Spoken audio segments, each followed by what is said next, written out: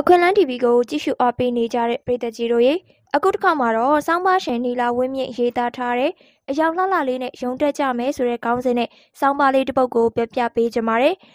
အလုံးမှာဘလိုမျိုးအယောင်တွေဝတ်ဆင်ရမယ်ဆိုတာရွေးချယ်ရတာအခက်အခဲရှိနေပြီလား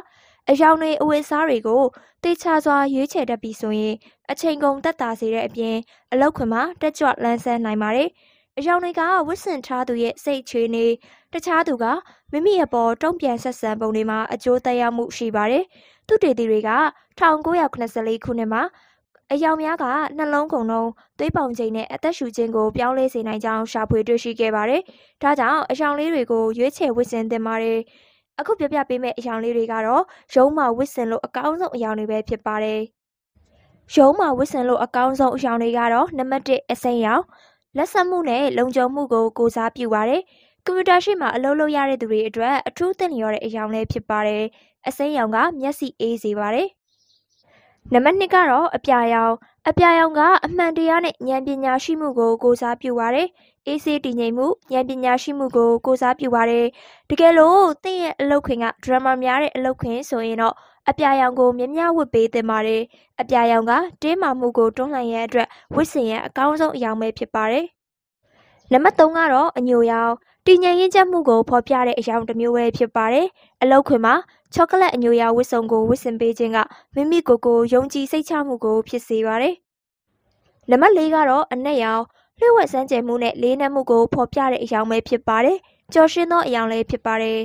။အခုပြပြပေးမယ့်အရာလေးတွေကိုတော့ရှောင်ကျဉ်ရမှာမယ်။ရှောင်ကျဉ်ရမယ့်အရာတွေကမှနံပါတ်1ကတော့အဝါရောင်ပါ။ အယောင်တွေထဲမှာအပျော်ရွှင်ဆုံးပျော်ရွှင်မှုကိုလှုံ့ဆော်ပေးတဲ့အယောင်ကအဝါရောင်ပဲဖြစ်ပါတယ်။အဝါရောင်ကမတည်ငြိမ်တဲ့အယောင်ဖြစ်လဲသတ်မှတ်ထားပြန်ပါတယ်။ဝစ်စင်ထားသူကိုအားရင်လျော့နေစေတဲ့အသွင်ပေါ်တာကြောင့်ရုံးမှာမဝစ်စင်သင့်ပါဘူးနော်။နံပါတ်2ကတော့မိခိုးရောင်မိခိုးရောင်ကတော့ထိုင်းမိုင်းစေမှု စွမ်းအင်လျော့စေမှုကိုကိုစားပြုပါတယ်။ရုံးမှာမဝစ်စင်တဲ့အယောင်ဖြစ်ပါတယ်။ဒါပေမဲ့အပြာရောင်ကဲ့သို့သောတောက်ပတဲ့အယောင်နဲ့တွဲဖက်ဝစ်စင်ပေးပါကဆန့်ကျင်ဘက်အကျိုးသက်ရောက်မှုတက်ကြွလန်းဆန်းစေပြီးတော့မိမိကိုယ်ကိုယုံကြည်မှုရရှိစေပါတယ်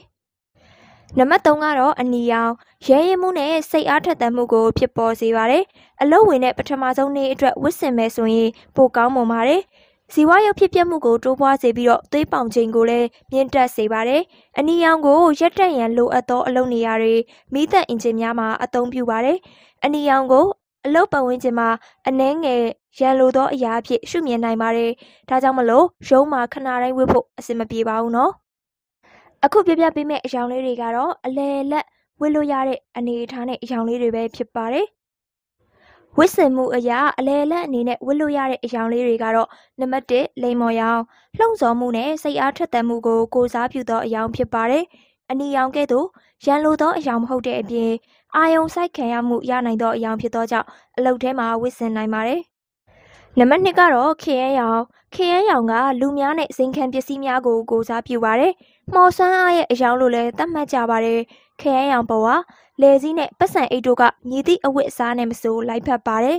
။နံပါတ်3ကအဖြူရောင်အဖြူရောင်ကတန်ရှင်းခြင်းစုံလင်ခြင်းအပြစ်ကင်းစင်ခြင်းကိုကိုစားပြုပါတယ်။ရှက်အင်းကြီးတို့ပဝါတို့အတွက်အဖြူရောင်ကအဆင်ပြေဆုံးအရောင်တစ်ခုဖြစ်ပါတယ်။အဖြူဆွဆွကြီးတွေကတော့လုပ်ငန်းခွင်မှာအဆင်မပြေနိုင်ပါဘူး